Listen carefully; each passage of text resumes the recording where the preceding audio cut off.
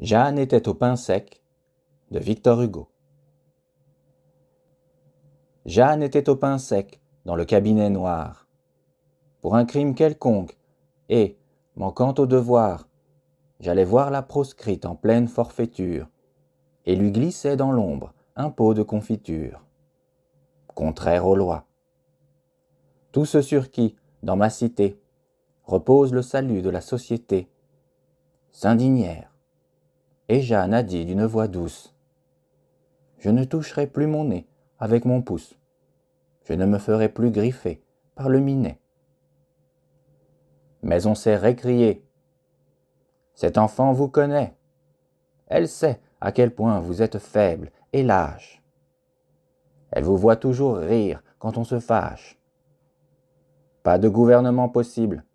À chaque instant, l'ordre est troublé par vous le pouvoir se détend. Plus de règles. L'enfant n'a plus rien qui l'arrête. Vous démolissez tout. Et j'ai baissé la tête, et j'ai dit, je n'ai rien à répondre à cela. J'ai tort. Oui, c'est avec ces indulgences-là qu'on a toujours conduit les peuples à leur perte. Qu'on me mette au pain sec.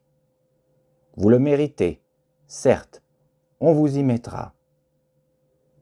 Jeanne alors, dans son coin noir, m'a dit tout bas, levant ses yeux si beaux à voir, pleins de l'autorité des douces créatures. Eh bien, moi, je t'irai porter des confitures.